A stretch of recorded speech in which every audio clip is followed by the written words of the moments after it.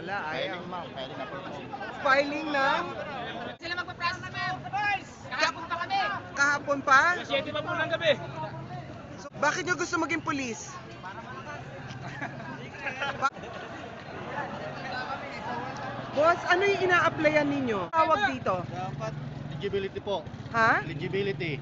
Eligibility. Office to. Kanino opisina to? Dapat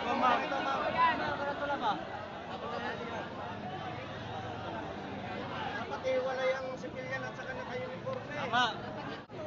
Mas maganda kung nasa service yun, district to district na lang. Ano lang, sa district na lang namin, that district na lang yan namin.